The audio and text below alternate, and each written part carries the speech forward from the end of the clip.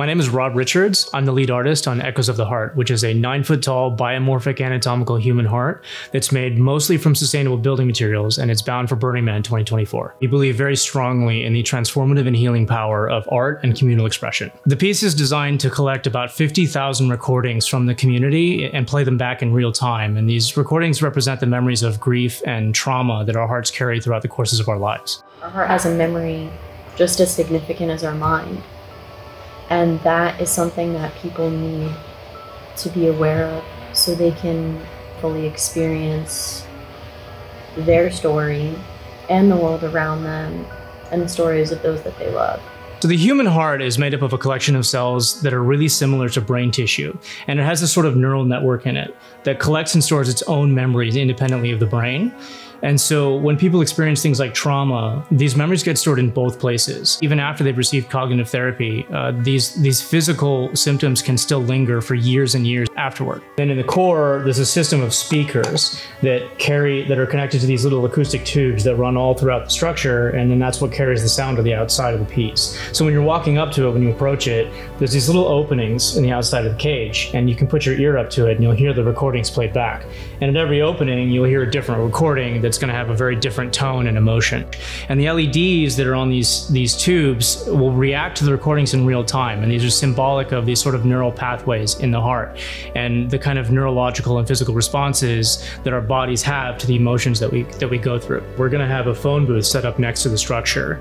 Uh, and it's going to be an enclosed, safe, quiet space where people can pick up the phone and leave a 30 to 60 second recording that's going to get collected uh, inside of the piece. And that'll be played back along with all of the other recordings in real time. My hope is that people, you know, you know, it's sort of like a message in a bottle, right? Where people can come up and leave messages or things to other people, things that they wanted to say to someone, maybe that they know that they never had a chance to say or never felt that they could.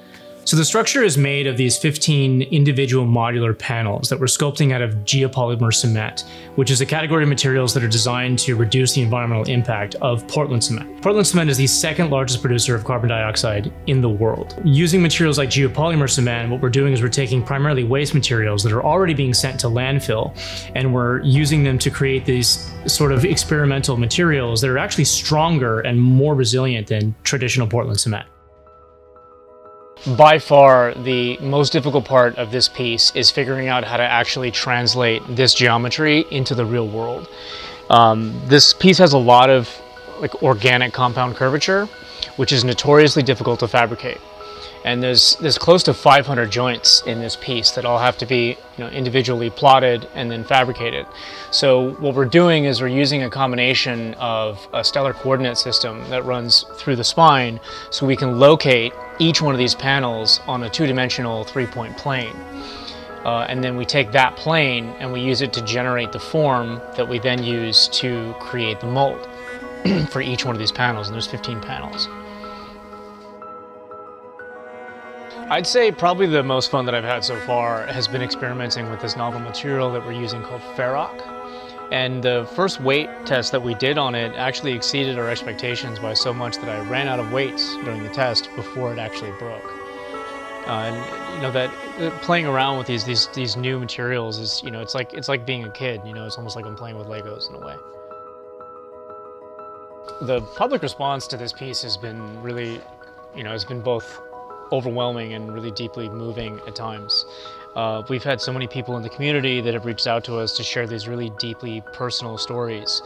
Uh, and there's, there's been moments when I've, you know, I've almost been moved to tears because it's really touching as both an artist and as a trauma survivor myself to have all these people share this, uh, these really, really personal, vulnerable parts of their lives with the project. I would like to personally thank you for con considering contributing to this project. If you're unable to contribute financially, please at least help us to spread the word about the project through social media, through telling your family and friends, uh, and helping us get the word out any way that we can.